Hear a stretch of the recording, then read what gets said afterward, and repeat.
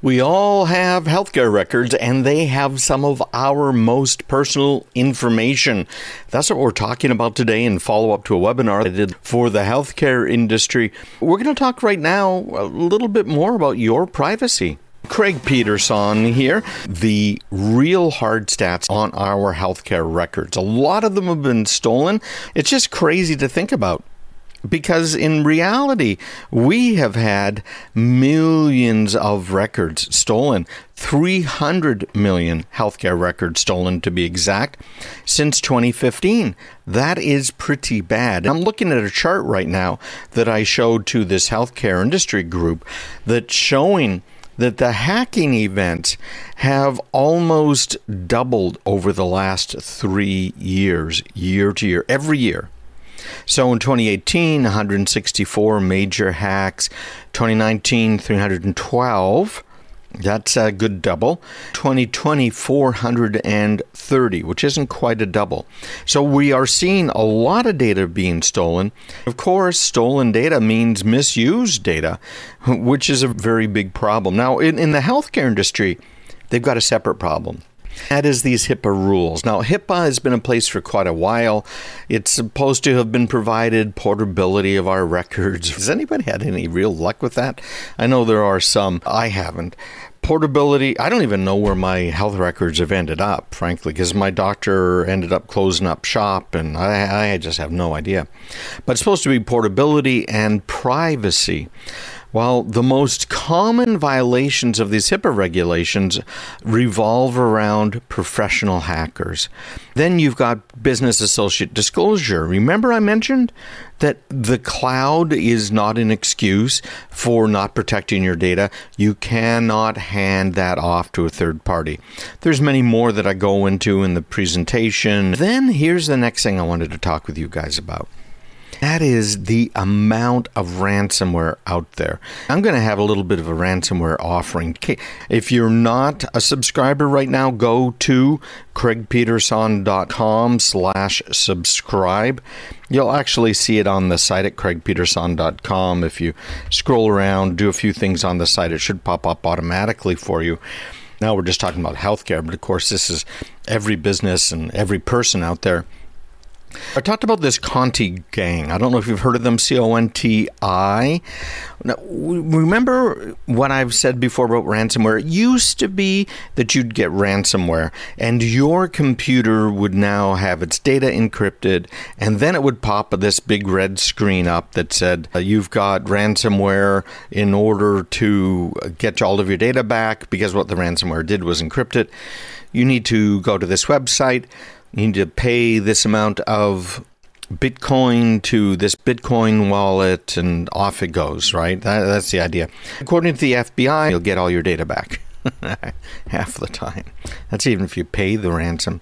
Now, two, the State Department might come after you, uh, the FBI, if you pay a ransom because now you are supporting terrorist organizations, not just criminal enterprises. Very big deal. Now, the other side of ransomware, and this is what just hit with a few different medical providers here.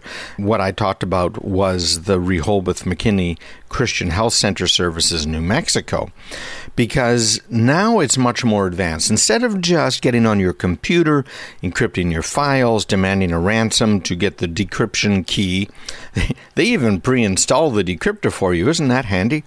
What they are doing is they get onto a computer and then they start east west spreading.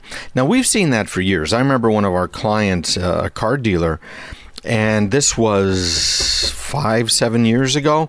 They got some ransomware. Somebody clicked on something that they shouldn't have, and all of a sudden their machine gets ransomware. The machine, of course, is hooked up to the network, and it is also not just hooked up to the network, it is in fact mounting drives from the file server. So his machine has access to all of these files. This guy was a, a, manager over there at this car dealership. So he had access to all of the files. Think about that for a minute. What his machine did back then is it said, oh, great, here's some network drives. It started encrypting the S drive and the H drive and the K drive, all of these different letters for these SMB mounted drives from the file server. We were in there beforehand and we had installed our security stuff. With his machine, got this brand new strain of ransomware. And of course, he didn't want us looking at what was on his machine. So we couldn't install all of the antivirus software because then we would have access to it. We got another client that's like that too, where the owner, of the business, doesn't want us installing software to really keep his machine clean. I don't know why people do that. It just are they just trying to play their cards close to the chest? Is that what they're trying to do? Are, are they looking at something they shouldn't be looking at at work or ever? Uh, why do people do that? If, if you got hints, let me know because I would love to know. Me at craigpeterson.com. Why do people do that? Anyhow, his machine got the ransomware. It tried to start spreading to the file server. Now, we had special hardware and software installed. So we saw that spread start. We immediately shut down. It was all automatic. It was just shut down. I shut down his network port. His computer had the ransomware. We were able to just go ahead and restored from backup. The bad guys know that if all they're doing is encrypting your data, then who cares? You restore from backup. Now, hopefully, you're following a 321 backup scheme. Most places don't. uh, hopefully, you're testing it as well. We test every backup that we make for our customers every day. About once a week, we will spin up the servers in a virtual environment and make sure that it can boot so that we know we have a good backup. I got to tell you guys, most of the time, the backups are not working. Okay, it gets to be a real problem. What they these guys have figured, including this Conti gang, is we're not going to be able to get as much money out of them by just encrypting their disks. We need to do something else. So while they're trying to spread east west inside, what they're doing is okay, so they got a hold of this manager's computer. They start scanning for other computers and scanning for vulnerabilities, scanning for ways it can gain access. Unfortunately, the statistics show us that most of us have file share turned on on Windows machines. That's one of the things I talk about in my Improving Windows Security course what to do, how to do, how to turn that off, because that is the second target of ransomware.